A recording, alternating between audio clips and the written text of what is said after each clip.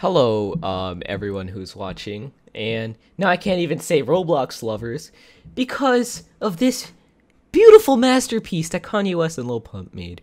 Now, um, I want you to take a look at the clothing they're wearing in this music video. I want you guys to peep it real good.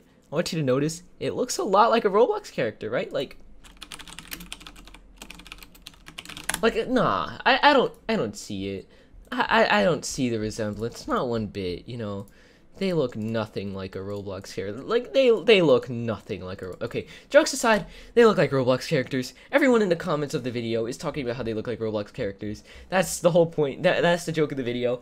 And I wanted to make a video talking about how I think that this will affect Roblox. Now, it won't affect Roblox too much because I mean it's Roblox. First of all, I didn't even know that Kanye West and Lil Pump even knew about Roblox, okay? But here's what I think is bad about this video and how it's going to negatively affect Roblox. Now, I don't know if you guys remember the trend, making X person a Roblox account. Right? Oh. Okay. Interesting. That, that's the first result. When I say X person, meaning... That, that, that wasn't what it... Okay. Anyway, you, you get the point. It was a huge trend. Everybody was making somebody a Roblox account. It was getting to a it, it got to a ridiculous point. I mean, making FaZe Rug a Roblox account. He doesn't even know what Roblox is. Making my turtle Roblox. He, he can't play Roblox.